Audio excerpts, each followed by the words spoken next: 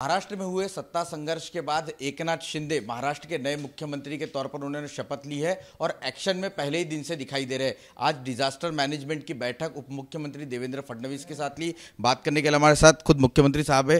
Sir, action में पहले ही दिन से नज़र आ रहे हैं। मैं एक कार्यकर्ता हूँ और इसलिए एक पार्टी वर्कर के हैसियत से ये एक्शन मोड में आना आज भारी बारिश हो रही है। कई बार किसी का नुकसान न हो, इसलिए मैंने आज डिज़ास्टर मैनेजमेंट की बैठक ली है। उसमें उप मुख्यमंत्री शामिल थे। सभी विभाग के लोग थे आर्मी नेवी एयरफोर्स एनडीआरएफ और सभी विभाग उसमें मौजूद थे।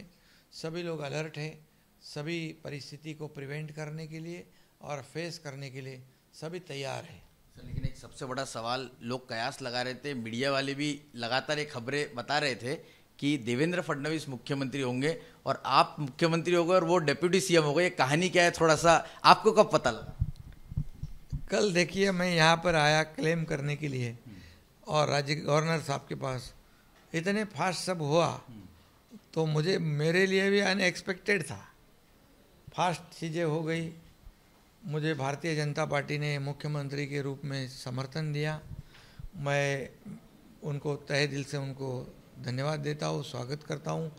आदरणीय प्रधानमंत्री नरेंद्र मोदी जी का भी मैं धन्यवाद करता हूँ।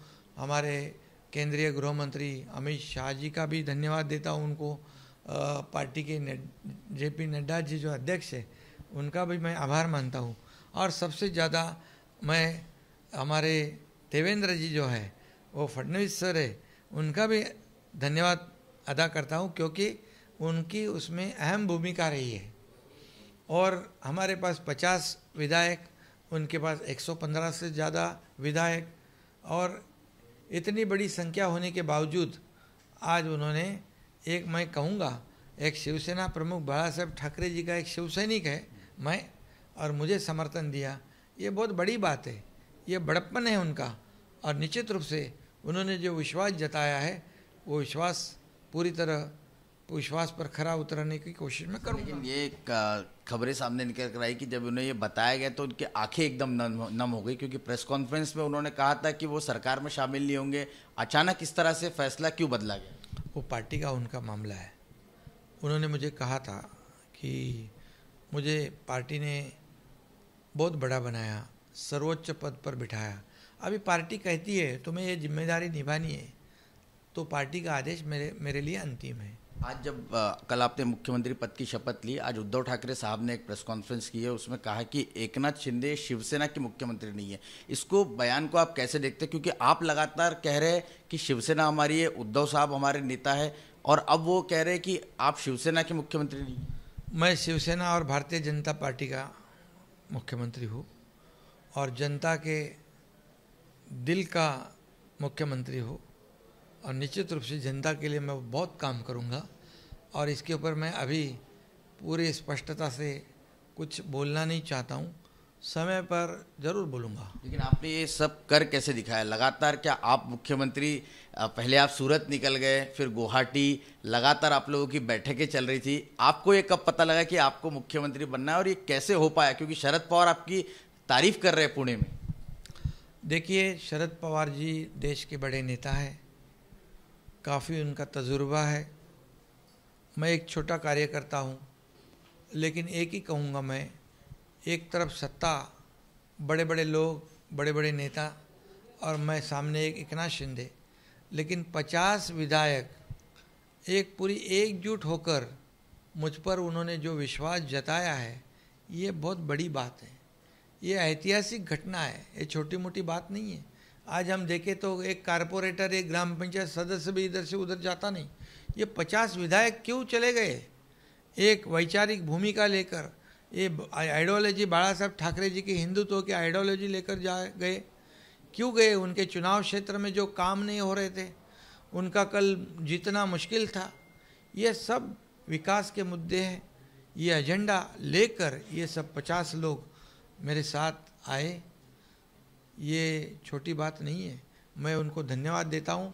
आज जो भी मैं मुख्यमंत्री पद की शपथ ली हुई है, इसकी वजह इसका पूरा क्रेडिट जो है, वो पचास विधायक लोगों का है। सर, जैसे आप कह रहे हैं कि उनका क्रेडिट है, लेकिन नज़रें बनी हुई थी आपकी कल की पहले कैबिनेट पर, जिसमें मेट्रो कार शेड को लेकर आपने एक बड़ा निर्णय जो है वो लेते हुए आप दिखे। आपने महाधिवक्ता को भी कुछ निर्देश दिए।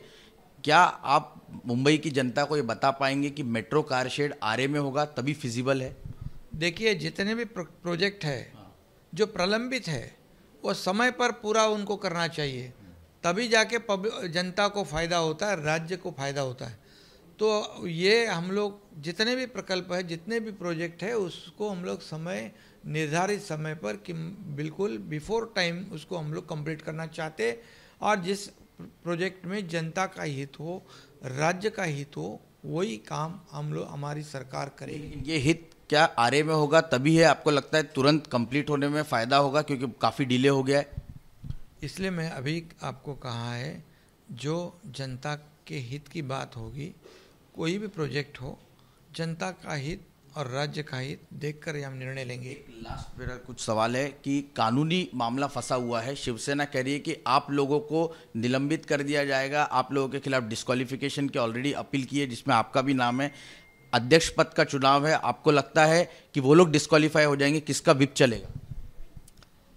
उन्होंने कोशिश तो कर ली। डिस्कालिफिकेशन का नोटिस दिया। सुप्रीम कोर्ट ने उसको स्टे दिया हुआ है। अभी कल परसों स्पीकर का चुनाव होगा। उसके 16 लोगों को पहले डिस्कालिफिकेशन की नोटिस दी। फिर और लोगों को भी कोशिश की। अभी कल परसों तीन तारीख को स्पीकर चुनाव है। उसमें ट्रस्ट वोट होंगे। और इसमें फिर आज कोर्ट में गए थे। हमारे को यहाँ कहते शुभकामनाएँ देते हैं। सरकार अच्छा चलाओ अच्छा काम करो।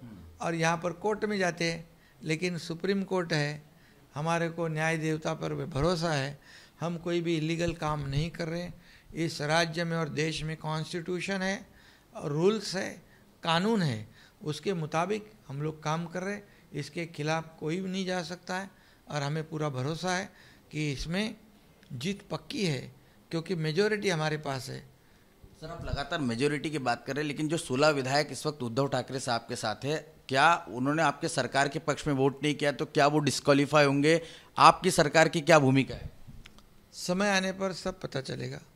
समय आने पर हम लोग आपको ज़रूर बताएँगे। मेरा एक सवाल और है वो ये कि आरोप ये लग रहे हैं आपकी सरकार पर कि ये केंद्रीय एजेंसी का इस्तेमाल कर कर बनाई गई सरकार है।